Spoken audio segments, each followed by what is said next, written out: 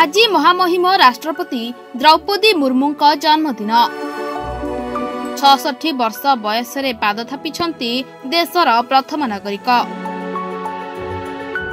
ଉଣେଇଶହ ପଞ୍ଚାଅଶୀ ମସିହା ଜୁନ୍ କୋଡ଼ିଏ ତାରିଖରେ ମୟୂରଭଞ୍ଜ ଜିଲ୍ଲା ଉପରବେଡ଼ା ଗାଁରେ ଏକ ସାଧାରଣ ପରିବାରରେ ଜନ୍ମ ନେଇଥିଲେ ଦ୍ରୌପଦୀ ମୁର୍ମୁ। ଉଣେଇଶହ ସତାନବେରେ ଶିକ୍ଷୟିତ୍ରୀ ଚାକିରି ଛାଡ଼ି ରାଜନୀତି କ୍ୟାରିୟର ଆରମ୍ଭ କରିଥିଲେ ଦ୍ରୌପଦୀ। ରମାଦେବୀ ମହାବିଦ୍ୟାଳୟରୁ ଗ୍ରାଜୁଏସନ ପରେ କର୍ମମୟ ଜୀବନ ଆରମ୍ଭ କରିଥିଲେ। କିଛିଦିନ ଶିକ୍ଷାଦାନ ପରେ ଉଣେଇଶହ ସତାନବେ ମସିହାରେ ସେ ରାଜନୀତିକୁ ପ୍ରବେଶ କରିଥିଲେ। ପ୍ରଥମେ ୱାର୍ଡ ସଭ୍ୟ ଭାବେ ନିର୍ବାଚିତ ହୋଇଥିଲେ ଦ୍ରୌପଦୀ। ଦୁଇ ହଜାରରୁ ଦୁଇ ହଜାର ନଅ ପର୍ଯ୍ୟନ୍ତ ବିଜେପି ଆଦିବାସୀ ମୋର୍ଚ୍ଚା ରାଷ୍ଟ୍ରୀୟ କାର୍ଯ୍ୟକାରିଣୀ ସଦସ୍ୟ ହୋଇଥିଲେ। ଦୁଇ ହଜାର ଛଅରୁ ଦୁଇ ହଜାର ନଅ ପର୍ଯ୍ୟନ୍ତ ବିଜେପି ଆଦିବାସୀ ମୋର୍ଚ୍ଚା ରାଜ୍ୟ ଅଧ୍ୟକ୍ଷା ହୋଇଥିଲେ। ଦୁଇ ହଜାର ଓ ଦୁଇ ହଜାର ଚାରିରେ ରାଇରଙ୍ଗପୁର ବିଧାୟକ ଭାବେ ନିର୍ବାଚିତ ହୋଇଥିଲେ। ଛଅ ମାର୍ଚ୍ଚ ଦୁଇ ହଜାରରୁ ଛଅ ଅଗଷ୍ଟ ଦୁଇ ହଜାର ଦୁଇ ମସିହା ଯାଏ ବାଣିଜ୍ୟ ମନ୍ତ୍ରୀ ଭାବେ ଦାୟିତ୍ୱ ତୁଲାଇଥିଲେ।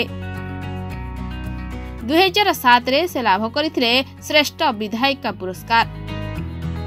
ରାଜ୍ୟର ପ୍ରଥମ ଆଦିବାସୀ ମହିଳା ଭାବେ ଦ୍ରୌପଦୀ ମୁର୍ମୁ ମେ ଦୁଇ ହଜାର ପନ୍ଦରରେ ଝାଡ଼ଖଣ୍ଡର ରାଜ୍ୟପାଳ ଭାବେ ଦାୟିତ୍ୱ ନେଇ ସଫଳତାର ସହ ନିଜ କାର୍ଯ୍ୟକାଳ ଶେଷ କରିଥିଲେ। ଏହାସହ ସେ ଝାଡ଼ଖଣ୍ଡର ପ୍ରଥମ ରାଜ୍ୟପାଳ ଭାବେ କାର୍ଯ୍ୟକାଳ ପୂର୍ଣ୍ଣ କରିଥିଲେ।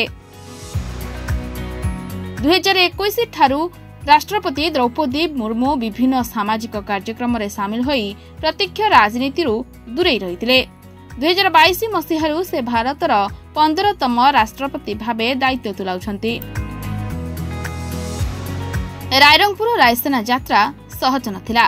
ଦାରିଦ୍ର୍ୟ ଓ ସଂଘର୍ଷପୂର୍ଣ୍ଣ ଜୀବନ ଦୁଃଖକୁ ଚାପି ଲୁହକୁ ପିଇ ପଙ୍କରୁ ପଦ୍ମ ହୋଇ ଫୁଟିଥିଲେ ଦ୍ରୌପଦୀ ମୁର୍ମୁ।